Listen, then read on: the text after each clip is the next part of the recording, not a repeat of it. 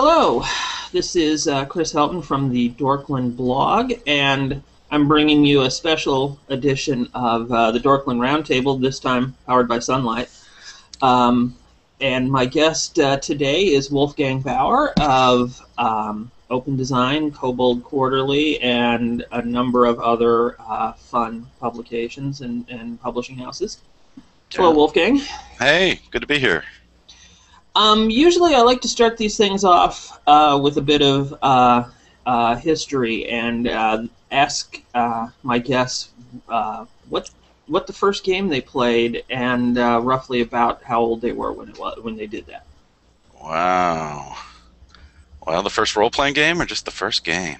first role playing game. Oh, okay. That makes it a little easier. Yeah. Well, it, it, it was Dungeons and Dragons, and it was in the time around 1979, 1980, the blue box.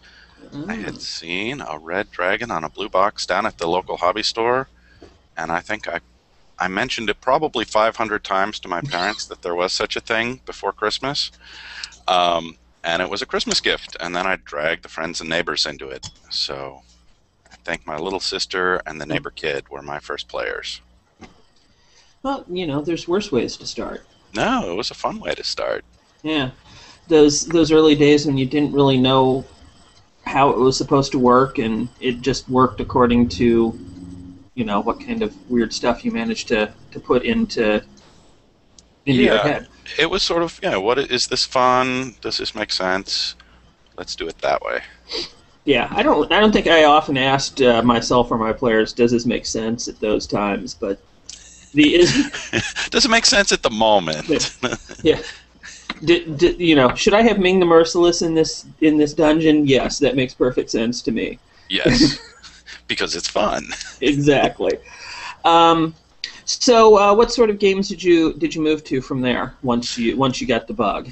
I was pretty much a a Dungeons and Dragons regular for quite a while, uh, and then I went to Gen Con, like Gen Con 18 or so, 17, somewhere around there. Um, and we had to have you know a parent drive us up, and it was up in Wisconsin, not in Indianapolis. But we got there, me and all my gaming buddies, and we played a ton of games, and then we went to the dealer room. Oh. and somebody demoed this cool science fiction game for me uh, called Paranoia. And it was all about lasers and killing off clones, and it was funny, and the guy running it was hysterical. I was like, wow, this is great. I would like to buy one. And they said, well, you know, it's a new game and we don't have the box that the game comes in yet. So we can just sell you the booklets here at the con because it's not out yet. I'm like, well, that's even cooler. It's not even out yet. um, and then the guy who had been running the little demo said, well, would you like me to sign it? I said, huh? Oh, you're the writer? Oh, great! Yeah, it turned out it's Ken Rolston, the designer of Paranoia. I was like, yeah, here. So I have a signed first printing copy of Paranoia that we then kind of beat to death that summer. Um, you know, killing off clones and doing ludicrous things. Uh, and then we moved on to oh, a couple other TSR things. I think we played a few games at Boot Hill. Uh, we certainly played Gamma World a bunch. Uh, and then later RuneQuest and Pendragon. So yeah, it kind of branched out slowly, and those all tended to be one shots, right? It's like, well, we're just going to play Pendragon for a little while, uh, and then we go back to D and D. Yeah, that that happens with a lot of people going back to D and D. Now, are uh, D, are your interests more towards um, uh, more a strict fantasy type of gaming, or more like uh, science fiction, or some sort of weird, unholy? well, I mean, my interests kind of go all over the place, depending. Um, I certainly have played my share of Call of Cthulhu, lots and lots of that, because I've got a regular group that I started playing with when I was uh, at TSR, and that group has survived. Oh, okay. Yeah, we're coming up on our 20 year mark, right? um, obviously, the characters in Call of Cthulhu do not survive, but yeah, if you have a 20 year old Call of Cthulhu character, somebody's doing something either really right or really wrong. yeah, exactly. Exactly. So we've been through a lot of characters and we've played all the big uh, campaign sets and we're, we're pretty hardcore about that. Um, but I would say, yeah, mostly fantasy with ventures off into horror, uh, conspiracy gaming. I mean, I wrote Dark Matter uh, with Monte Cook for Wizards of the Coast, and that that was all conspiracy gaming and modern firearms. So, um, but yeah, Yeah, I was- think Oh, I was gonna say. fantasy's the meat and potatoes. Yeah. Yeah, I was gonna say that I, the first time I think I noticed your name on a credit was for the the book of uh, Dark Matter. Yeah, I mean that was a big book and glossy and beautiful, and no one had quite done a conspiracy game that way before. Um, It's, and the fa- it's a I mean, beautiful thing. Yeah, and they brought it back then in the D20 system later, right? They uh, Mhm. they reissued it after the Alternity game system went away. Uh, reissued it as a D20 modern game. Now, which do you like better, the Alternity or the the D20 Modern version? I gotta say, I sort of like the the degrees of success rules in Alternity. Um, I thought that worked fine. I've only played it once with D20 Modern, and it works. Um, I don't know. I have a weird fondness for the Alternity rule set. That's something you don't really hear a lot about. Is I mean, you don't hear people talking about Alternity. It's it, it No. it's almost one of the the the redheaded stepchilds of uh, Yeah. uh, you know TSR and, and Wizards and the stuff. Well, I think modern gaming and science fiction gaming, I mean, other than Traveler and maybe a few of the horror crossovers you see now, um, I mean, it's always been a smaller pond, right? Paranoia was sort of a small, humorous game that, that did better than anyone expected. Um, conspiracy games, something like Delta Green is huge by Cthulhu standards, but it's a Yeah. really, it's a small, Yeah. relatively small community. Well, you know, and I've never really thought of of Paranoia. I mean, despite all of what's in it, it as being a science fiction game. I always thought of Oh, come on, Paranoia computers and being, lasers. as being well. It's I've always seen it as more of a as a you know a humor sat, a satirical game 1st and then you Mm-hmm. Yeah. know the science fiction is just there to you know give you like laser beams to kill crap with. That's it's certainly not hard science fiction. Yeah. It's certainly jokes first and Yeah. uh, science second. But I don't know. I guess we we thought of it as a science fiction Yeah. game, but then we thought Gamma World was a science fiction game. too. Giant robot or giant robots, giant rabbits for the win. Yeah. yes, yes, exactly. So you know, um, we're willing to goof around with some of that stuff, but when we wanted hard science fiction, it was pretty much Traveler. Yeah. Um, and and yeah, I, I just have never maintained a science fiction campaign for the length of time I've maintained fantasy campaigns. Think the only thing I've ever maintained long term science fiction wise would have been uh, cyberpunk. Mm-hmm. Yeah. I should have done that. I was such a fan of Gibson and Sterling and Rucker and pretty much every cyberpunk novelist. I, I read everything that came out. Um, I think I was too fussy to game in that universe, though. It's like, I, you know, people should, or maybe I wasn't ruthless enough to push the body count the way it should have gone, because those are fairly. Yeah. Oh yeah. Believe me. I um, I actually had to get my my first copy of Cyberpunk uh, via mail order direct from the publisher because I couldn't find a comics or you know a comic or a gaming store that even knew what Right. the hell I was talking about, let alone was carrying it. Yeah, yeah, So- yeah. I was like, you know, I've got this review in a magazine. It's got an ad. I will just write to them, and Mhm. next thing I know, I've got a shiny black box set in my hand. So Yeah.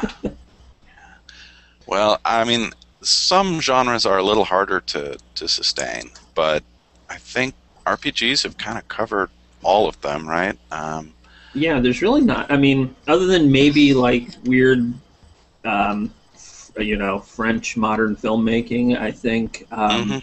A lot of the genres have been covered in, in RPGs. I'm, I'm going to get an email from the designer of the French modern filmmaking indie story game saying, You guys totally overlooked me. yeah, I, I mean, the big genres are there, and they, they follow the trends from, from film or novels. And, and the one thing that kind of worries me now is that we do see a lot of licensed properties, but we see less original RPG properties, right? I mean, um, the Game of Thrones RPG is awesome, um, but there's no longer a sense that like Dragonlance, you know, was an RPG property first, Yeah. and and sort of spread out into the culture from there. So I'm kind of looking for the next cool RPG setting. Well, what about yours? Well, He's- all right, there's the, that. The, the, the interviewer says as a segue. well, sure. I mean, I've got Midgard coming out in October, and I'm really excited about it. It's uh, it's a traditional fantasy RPG setting, and it does a few things differently, but it's familiar, right? That's kind of the balance I'm always fighting in fantasy. Is it's a fairly conservative genre, but you want to do something new.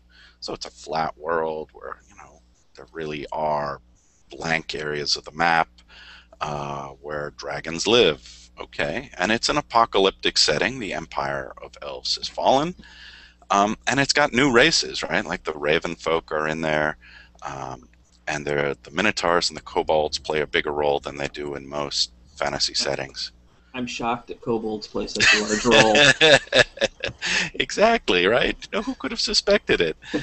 But uh, it's like it, it draws on things that I was running in high school. Right? There's stuff on the map that was on my map, like on little hex grid paper from the Greyhawk days. Um, and then there's things that I've only added to it, like in the last five years. So it's what I love about Midgard is that it's got a long history. It's got a deep well of things to draw from, and so it's not a setting that I tried to rush or force for a publication date. Right? I have plenty of time to think about it. Um, so ley line magic is in it. The shadow plane is in it. All of these things are sort of deeply layered into the setting, and people seem to like it. And we'll see what they say in a month. Now that um, the the question that brings up then for me is um, what sort of what sort of influences went into over the you know the journey of, of Midgard? What sort of influences went into its creation? You know what what books what what Right. what what sort of things do you you know you are you know you're in the middle of reading a book and you go crap I've got to write this down because this will be awesome in my game. Yes. Uh, well, some of it is books. I mean, I think all of the the leyline shadow magic stuff actually probably owes a fair bit to Roger Zelazny and Nine Princes and Amber and that sense of just step through um, into another world. Um, there's other things that are very much drawn from like the Conan or Greyhawk tradition, right? It's it's a dark world, and the magic is deep and old. Um, so there's those things that that resonate for me as the parts of fantasy I like. Um, and then there's the Western Wastes, which pretty much everybody who's been watching this project develop says, yeah, those are awesome. I mean, that's where the Cthulhuid, dark, blasphemous elder walkers go across the landscape, destroying everything in front of them. Um, it's it's as close to what the uh, the Sea of Colorless Fire or uh, a Gamma World radioactive glasscape uh, as you can get in a fantasy setting, right? Um, so it's the place where all the weird stuff comes from. Uh, my goal was, hey, let's have an explanation for stuff like mind flayers and all these tentacles that seem to show up everywhere. right? Um, so the Western Waste is where magic gets warped and weird. Um, did you ever play uh, any Warhammer?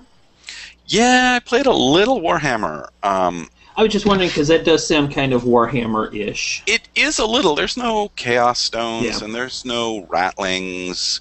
Um, and That's, it's that's a, where you went wrong. Is no ratlings. I know It's gonna- it's are gonna- cool. It's going to be in reviews. You you know it now. Why the hell doesn't this have ratlings? There are no Skaven in this product. I am so disappointed. well, I hope the Raven folk are something new and people dig that, but we'll see. Uh, you know, Warhammer, I think, should be a big influence. I like their tone. I like the Dark World of Perilous Adventure um, style, but it tends to be that's way more over the top usually Yeah. with the chaos and Nurgle cults and those things. Midgard kind of tries to pare it back a little bit um, from that level of uh, of world-ending weirdness. Well, I think it's the Lovecraftian kind of. It it got into you know um, Warhammer probably through RuneQuest, and then Yeah, the, the those those kooky English guys kind of cranked it up to like 15 and Yeah, and the minis are great, and like the visual look of it is fantastic. But I tried to play Warhammer Fantasy Roleplay once, and I did not care for the mechanics. So I don't know. Yeah, I know I'm- there are people who love it, and I just I'm- apparently not one of them. yeah, I'm in that school too. I I, I love the. Uh, I recently kind of after because I, I I do some games that I run here online, and after a couple of months of people going, "Wow, this is like Warhammer," I decided to finally go back and pick some of the stuff up and go, "Huh, this this is sort of like Warhammer." Yeah, But I, I, think think that's a reasonable direction to go, right? They were there first. They did a Yeah. really great job with this sort of blasted points of light kind of setting, um, and they've carried it for years and years Yeah. and years. So I'm glad it's around. Well, and it's also, I mean, it's interesting to see how you know you take the the, the sort of the similar in, inspirations, like because in my case, I think the reason why people kept saying, "Oh, this looks like Warhammer," is because you know I was taking a heavy influence from you know Lovecraft and, and Yeah. Michael Moorcock and things like that, and when when you when you put those two things together and kind of crank it up in a fantasy game, everyone kind of expects it to be Warhammerish. Yeah, and I think that's fine, right? There are people who are going to say, "Oh, well, this is sort of like Warhammer," or Yeah. "You're running a game kind of like Warhammer," um, and it's a really good tradition for fantasy RPGs, and kind of carrying that forward is is fine. Well, I mean, it's good to have variety of, of approaches, you know, because Yep. not not everyone's as big on the you know all high fantasy all the time. Yep. Oh. I love me some low fantasy, and I've run the home campaign of Midgard through sessions that have been, you know, sort of big planar exploration stuff, and I've done things that are more uh, gritty, urban, you know, let's fight the thieves guild, low magic stuff. I think a single a single campaign setting can hold multiple play styles, right? It just Oh. depends who's running it and what the group is into. Now, um, what do you run your home campaign with? What what game system? Well, let's see. Uh, This is this is this is going to cause more emails. I know. Uh, this is going to cause more emails. Well, this is my problem, right? I mean, for a long time, uh, Kobold Quarterly has had a slogan on the cover for at least a year and a half. You know, the Switzerland of the edition wars, um, because we we don't necessarily commit to a rule system all the time. Um, at the moment, it's Pathfinder. Um, before then, it was fourth edition D and D. Uh, before that, it was 3.5 D and D. Uh, before that, it was what was it? You know, it was probably run second ed for a while. Yeah, so I mean, it's mostly been D and D, and then Pathfinder's a D and D branch, so that's all in that tradition. Uh, I tried running it with the Dragon Age rule set from Green Ronin, um, and that was fun. Yeah, I saw the like the creatures that you did for for Dragon Age. Those Yeah. were those were very cool. I like that sort of approach to. Yeah, you know that system needs I don't know, it needs more supplements is what I think. But the the Green Ronin guys not unreasonably are pursuing their um, Game of Thrones game, right? Yeah. The Song of Ice and Fire RPG. It's great. They've got an HBO series. Why wouldn't they be Yeah. uh, putting, you know, their limited staff and resources into that and they're doing great with it. So, I think Dragon Age is not a redheaded stepchild, but it's the number two or Yeah. the number three behind Mutants and Masterminds Yeah. and, and Westeros. Yeah, if if they have a redheaded stepchild, it would probably be True Twenty, but we won't go there. No, let's not. I don't want all those emails. but um, but yeah, it, I mean, it, you know, it, uh, Dragon Age is a really good uh, system, and I like. Well, I mean, I like a sort of low magic. Um, Yep, it's low magic. It's fast and flexible. Yes. I mean, it's it's not quite a beer and pretzels RPG, but it's headed that way. yeah, Um, and sometimes after you know a, a particularly complex run of fourth edition or Pathfinder, it's like let's do something simpler. So that's when I reach for Dragon Age. yeah. Actually, I think when when your uh, when your uh, Midgard stuff comes out, I I'm actually considering using it for uh, an open quest game. Oh, cool. So, Oh, I'd love to hear I'm- some write-ups on that. I'm I'm a I'm a big fan. Well, I'm I'm a you know a big uh, D, uh, percentile, whatever you want to, the BRP derivatives Uh-huh. thing, and I was one of the the backers for their second edition Indiegogo campaign. So I'm Oh, waiting with bated breath to get my new my shiny new game book for for OpenQuest. But I just Excellent. thought Mid, Midgard would be a neat um, uh, setting that would uh, sync up well with that that sort of RuneQuestian sensibility. I think it does actually, and I've had other. Well, so this is sort of what I was saying earlier, right? That other people have said, "Well, I really love the setting, and I'm just adapting it to the system I prefer." Right? So we still have fourth edition players running with it. Uh, we still have um, Dragon Age and Pathfinder players running with it, and it wouldn't surprise me at all. Yeah, OpenQuest could pick it up, and somebody in Louisiana says he's turning his 13th Age game Wow. into a Midgard game. There's people in Louisiana that game. Oh yeah. I, I'm just kidding. One of my friends is who, who who might watch this sooner or later is there, so I have to get a swing at people from Louisiana if I can. Yep. Gamers everywhere. It's kind of Yeah. cool. Um, actually, and we were talking about questions uh, popping Yeah. up online. Actually, I just got one, and uh, I'm not sure if the right. Uh, you know, I well, I can't answer myself. So, um, right. Tony Pace was asking uh, if you wrote uh, Khromosome for the Amazing Engine. I did. Oh my goodness, that was my first standalone campaign setting. Uh, Apparently, apparently our talk of cyberpunk uh, brought that up. yeah, I had been reading uh, a lot of Rudy Rucker and like biopunk stuff, and I said, why don't we? Well, and I had uh, just gone to graduate school for biochemistry, cell and molecular biology. I had done a little bit of genetic engineering on algae, um, created some new life forms in the lab, and then I went to work for TSR, and I'm like, well, damn, my education's going to waste. Can I write a cyberpunk setting that's it's uh, full of weird biotech? And yeah, I loved writing that thing. I could not fit everything I wanted into uh, into the covers. I think it was like 96 pages, 128 on yeah, the those outside. those were really tiny because I've got I've got one of the other amazing. It I don't have Chrome because actually it came up in a conversation on on my thing the other day because I posted for uh, one of the other people the uh, the freelancers novel because it came up in one of my other roundtables. I posted it and someone went, "Hey, isn't that the cover to Khromosome?" And I'm like, I, I don't know. Yes, it is. and and um, so that started a mini conversation about Khromosome. Yeah, that's And, one of those cyberpunk settings that, well, Amazing Engine stuff was all kind of tossed out there with the sense of uh, it's an experiment, right? Fairy Queen and Country. Um, oh man, there were. there was that. Yeah, There was the Bug Hunters one was the first one. And it was a great little series. They were all very inventive, um, but I, I don't know that any of them caught fire really. yeah. You know, it's funny you mentioning Rudy Rucker because I've been a huge Rudy Rucker fan for a long time. I even, even though I have the product of a liberal arts education, I've even read his mathematics books. Ooh. But yeah, I know that's hardcore. But um, about a month ago, I got a response to a tweet from him, and Really? I'm just sitting there looking at my screen, going, "Holy crap! Rudy Rucker just tweeted to me." it's like, uh, uh, do I follow up or do I just take this as a high point and move on? yeah, let's just favorite that. Let's keep that.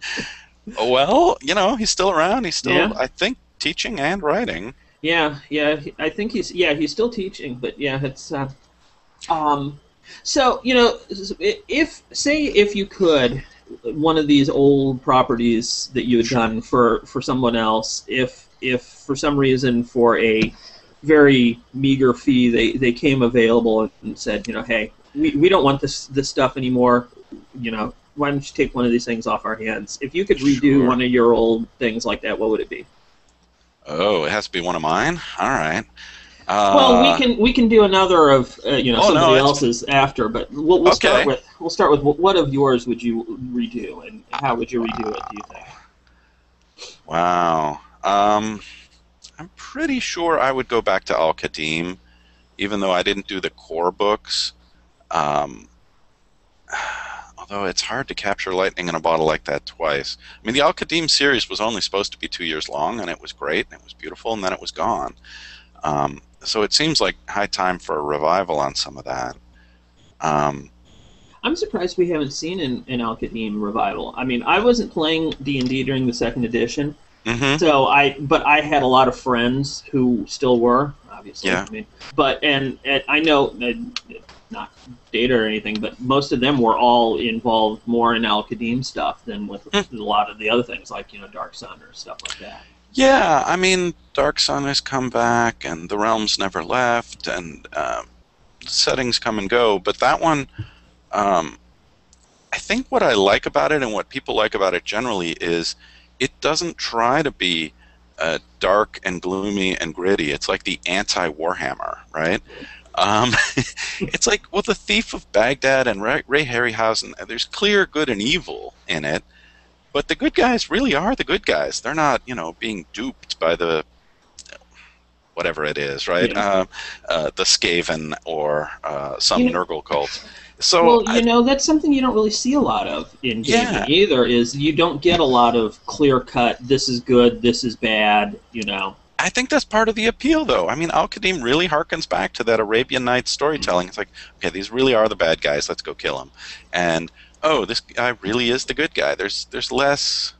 I know that Greyhawk and other settings love to to flaunt their uh, shades of gray and mature subject matter, and uh, I don't know, a sense of complexity. But the Sometimes- simplicity of yeah, you know, Indiana Jones level Yeah. simplicity. I like that. Yeah, you know sometimes there's you know you just want to play a Yep. good guy who's a good guy for the sake of being a good guy. Yeah. Yeah. So that would be fun. It would be fun to go back to Al Qadim, revisit that. Um, if I were to look at someone else's properties, right, um, I might look at the other uh, great game to come from the cyberpunk folks, namely Castle Falkenstein. I think is way overdue for a revival. Um, it's got, well, it's got more intrigue. It's got steampunk before steampunk was cool.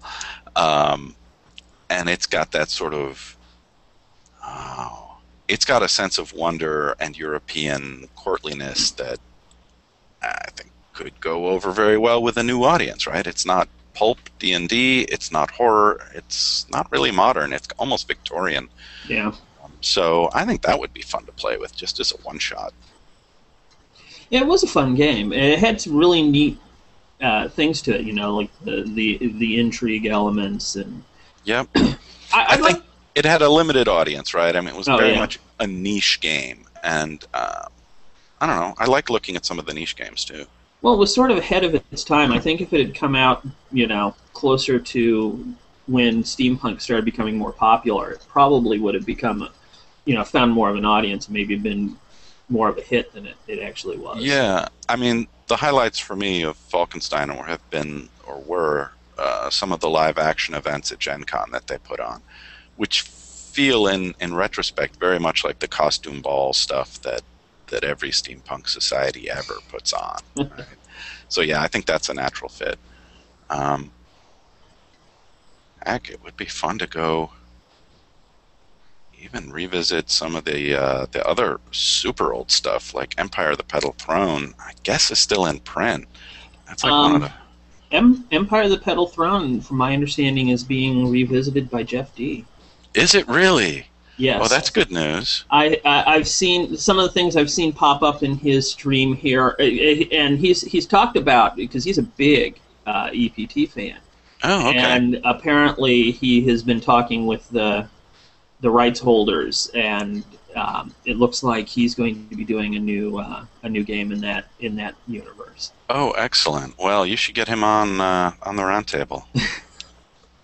Yeah, he. I've talked to him once actually. I did a I did a, a group panel of uh, superhero designers. I got him and uh, Steve Kenson and Cam Banks and a couple Wow. of, and a couple of other guys. It was it was Kind really it was power panel. it was very intimidating. Uh, I, it's like wow, you know, I've I own something by everyone in this in this chat, and that's a little weird. So, Sure. but but uh, So, um, what games? What games uh, out there currently, uh, other than the, obviously your own stuff, uh, Sure. has got you, uh, you know, interested? What what, do you, what have you seen that, that looks interesting to you, or you, you know, you came across at Gen Con or, or whatever? Right. Well, uh, at PAX, I talked to some of the story gamers, um, and that got me interested in running Fiasco again sometime.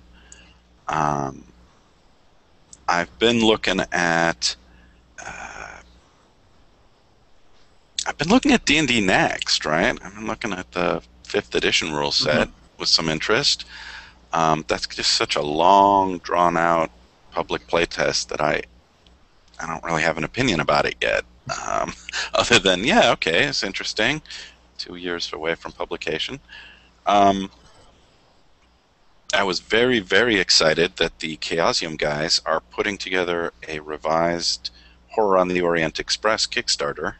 I saw that. Yeah, which, you know, that's a classic, and it's a shame that no one's really revisited it, right? And Yeah. of course, if anyone should, it would be, hey, get the, the Chaosium crew on. That seems to be drawing a good re- reception. I'm backing that. I, Um, that's why I was just going to ask if you're backing.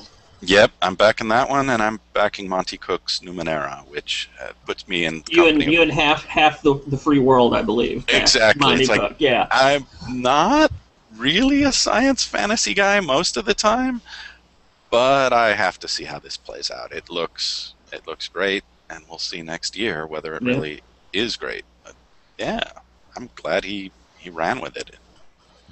Yeah, the success of that was just phenomenal, and it just sort of came out of nowhere. It's like, wow. I know. I kind of looked at it and said, "Well, this could be good," and it has Yeah. Monte, so that's a really good sign. But super far future fantasy.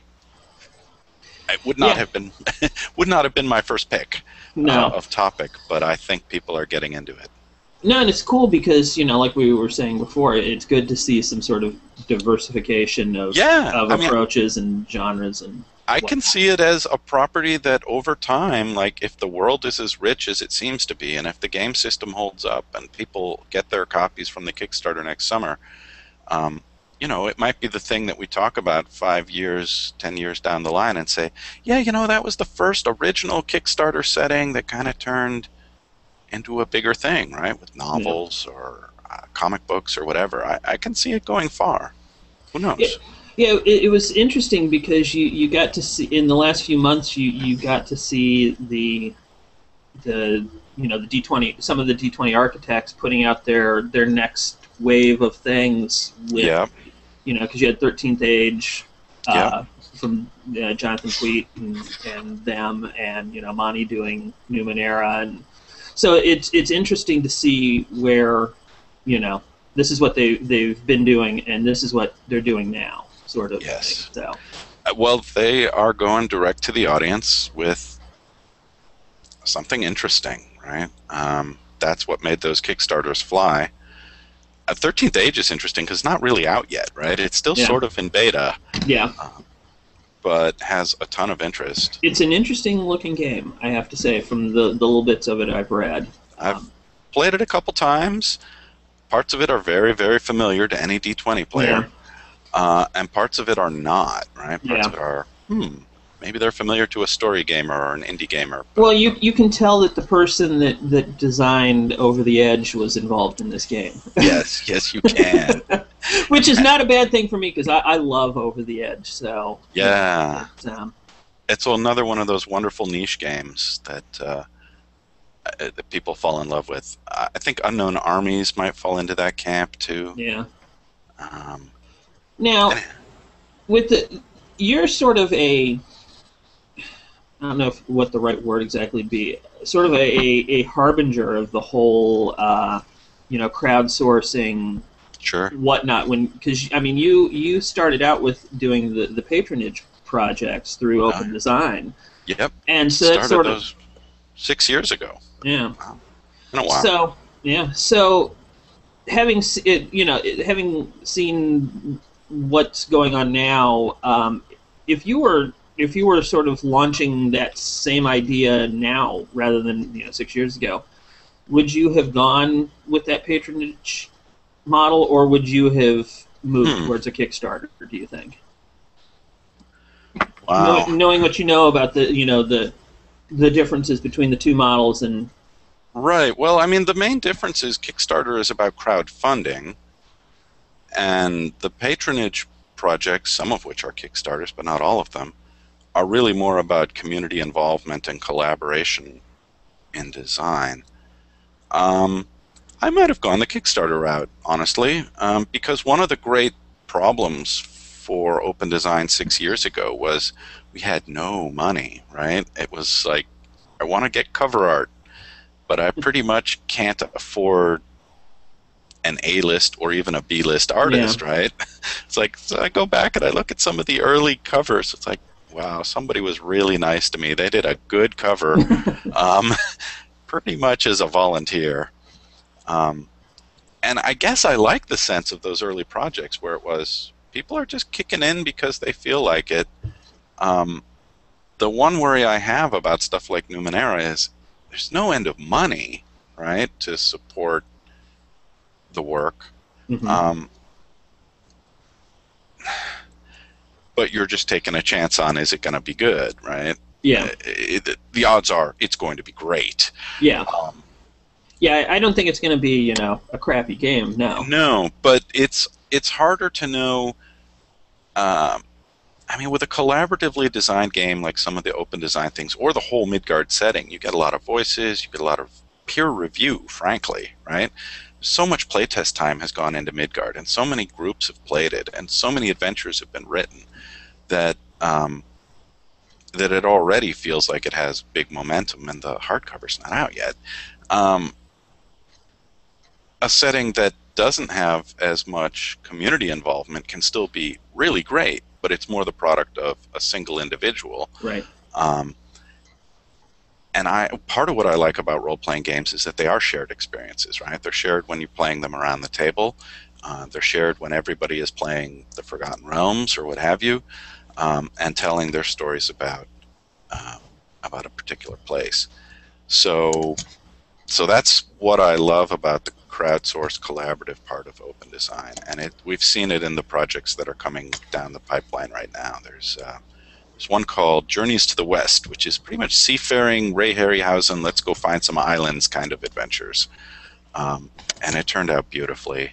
Um, I'm not going to do spoilers on it, but there's six adventures and seven We know how gamers feel about spoilers. I'm not going to go there, but there's there's like six adventures, seven islands, a bunch of seafaring monsters. All right, I'll say one spoiler. There are rum gremlins in one of these. Ooh. I'm like, rum gremlins? Of course, it seems obvious in retrospect, and they're hilarious, and they're um, they're one of those monsters that are very memorable. I had a chance to play that uh, adventure at PaizoCon this past July, and they were the hit of, of the scenario. Right? People say, "Well, that was a great adventure. Yeah, it was your favorite part." Oh, the rum gremlins. so, so those will be out in public in the uh, in the Journeys to the West project, and it's the kind of thing where it was brainstorm some monster ideas, and the best dozen uh, got statted up.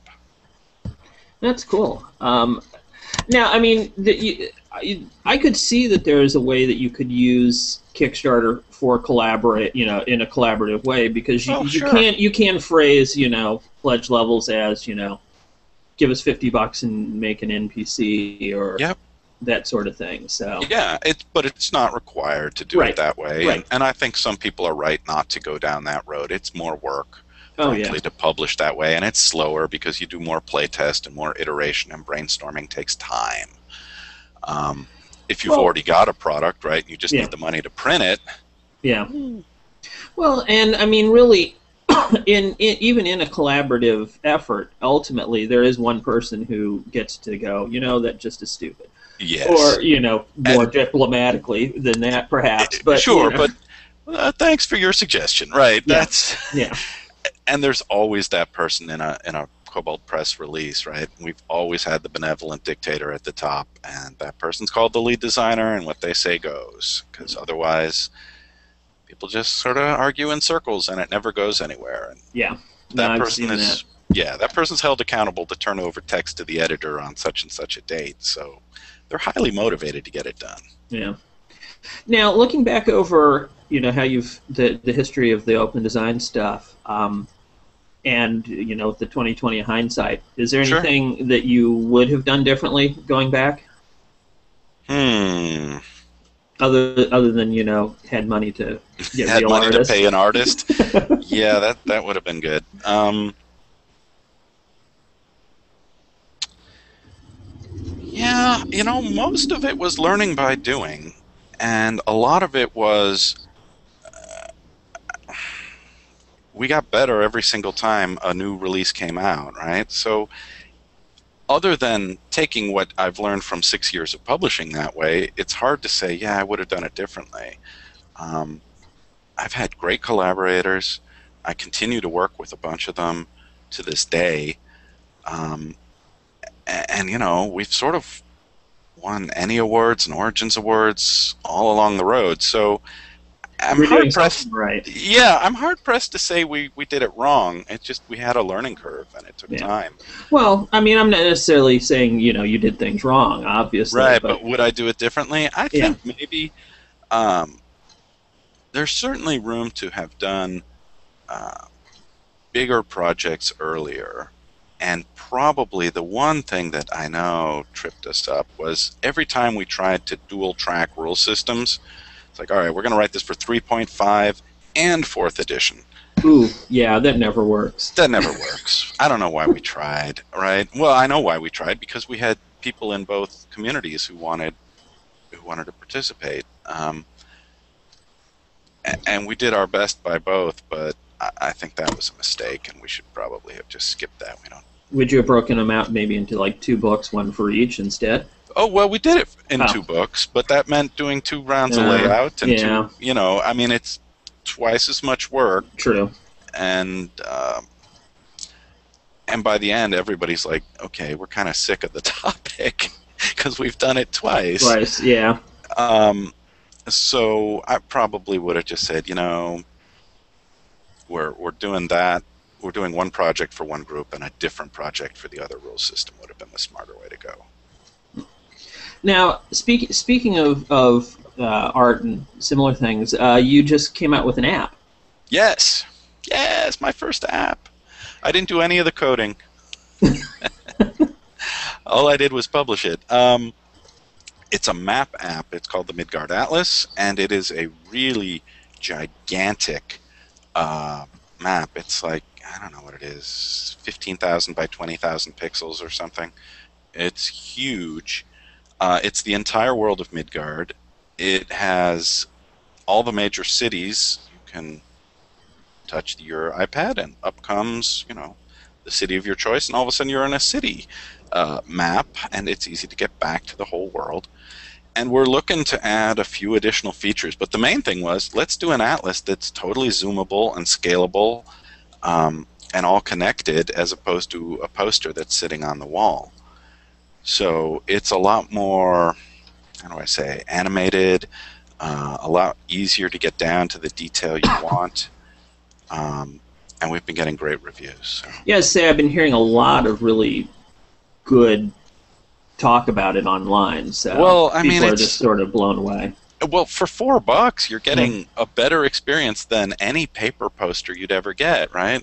It's like if you had the same number of maps in an atlas, it would be at least 50 or 60 pages. It would cost you 20 bucks. Yeah. and it wouldn't do what this does. So it, I think it's one of those cases where um, it would be nice to have a map this good for every setting, not just Midgard. Now, when this was first suggested, were there a lot of people at the table with that uh, "Are you crazy?" look? Uh, I mean, Uh, or- maybe I think. Well, I, the hard part was we wanted to do everything, right? We wanted to like, you know, put in route finding mechanisms and some sort of currency exchangers, and you know, zoom into the dungeon and in-app purchases, and it's like, okay, let's just get the maps out first, right? yeah, Um, and so the hardest part of it was scaling it back to something that we could ship. Because it's a huge app. Uh, and just getting the maps to move correctly and scale Um, it's a lot of work, and I'm fortunate to have worked with a very talented iOS designer, uh, developer. And yeah, we'll we'll have some more conversations about what features to add next. But Yeah. the crazy part was, you know, can we can we find something that's entertaining enough that people will throw a few bucks at it, and then grow it into something bigger? Did you have a lot of hassles with uh, approvals or you know getting it through the the App Store? I would say less hassles than I expected, right? I've heard all the horror stories of it'll take weeks, they're going to reject this and that. But we didn't do in app purchases and we didn't do, you know, it's not a lot of text other than the map text, so there's not much to get offended about. Um, I don't know. People's uh, you know capability of, of being offended is always uh, amazing is- to is a- watch. yeah. Yes, yes, it is. But uh, but the approval process went really smoothly, and uh, I would say it was just a, a nice, straightforward launch of hey, here's this mapping application, um, and what we're getting most now is is hey, when is there going to be you know an expansion or yeah. More to it? Do you see yourself doing another app? probably. Uh, if we do, I mean, I can see doing an app that's like connected to Journeys to the West, right? It's a giant seafaring uh, campaign, lots of islands. Wouldn't it be nice if you had ocean charts and some sort of, you know, sailing and wind and storm generation? Um, yeah, that could be really neat. Uh, it could be other apps that are more like a character generator. I don't know. I'm not I mean, Kobold Press is not a software house, Yeah. so this is really an experiment. Um, if it does well, we'll try it again. But we don't really have the resources to support iOS plus Android plus PC releases plus, you know, um, even the larger RPG publishers like Wizards or Paizo have trouble supporting multiple platforms with simultaneous releases. and all that. Yeah. Well, it's, I mean, and I, it is a lot of work, and it's a completely different skill set because Yep. you know you, you have to have experts that kn- know what they're doing for. Otherwise, you're just going to have a pretty looking button that's not going to actually do anything. Exactly. And we didn't want that, right? We wanted a, like a luscious, beautiful experience um, that map hounds freak out about, right? And say, Which which they certainly have been. which they have. so, uh, so we achieved that goal. Now we want to expand it with maybe something else. Yeah. Um, I don't know. I, I, I remain to be convinced that Kobold Press is a software publisher, but Yeah. um, but we'll try things like this because it's sort of where I've been going for a long time. Is let's experiment a little and see what Yeah. works. Well, I think experimentation is sort of a, a cornerstone of, of your guy your publishing house's approach. Oh yeah, yeah. We've always done things a little differently in terms of the business model, in terms of the creativity and the approach in the adventures, and that's I think part of the secret of our success. Right? We're small but nimble. Um, which is a good thing. yeah, kind of got to be. Yeah. Now, uh, why don't I guess uh, wrap things up? Why don't we talk about uh, your the big release of Midgard? When is Sure. it coming out? It will be out uh, sometime like early October, first week of October, I would say. So And- it's coming right up. That's going to uh, be book in PDF, or is that just the PDF release? Or what? Uh, that is everything all at once. So there's a hardcover, there's a soft cover, there's a PDF, there's uh, a few other things that we've got coming, uh, and the map app is already out. So yeah, all of those pieces will hit um, early October. We'll be sharing some sneak previews at the Kobold site, and yeah, I'm very curious to hear the, reaction. Right, I've been hearing for a couple of years now from people who are already fans and supporters. Um, I'm curious to hear as well from people who are like, well, I kind of heard about it, but I don't know anything about it, and sure, I'll check it out, right? And they pick Yeah. up the PDF or something and say, wow, I can loot half of this stuff for my own campaign. Or uh, I've heard from a few people saying, yeah, you know, we're pretty much just waiting till it's released and then we're porting our campaign. Oh, wow. I'm Okay. sure that makes makes your your heart go pitter pat. It really does. Yeah. but you know it's meant to be both lootable and full of great mechanics for, for Dragon Age players and Pathfinder players and D and D players, um, and to have, well, you know, we stuck Baba Yaga in there for a reason. She's fun. much like much like putting Ming the Merciless in your dungeon, Baba It's- Yaga is fun. Fun, yes. We didn't try to think about it too hard. It's like, eh, she's a Russian myth. All right, great, we'll go. She's fun, so she's in there, and there's a lot of that.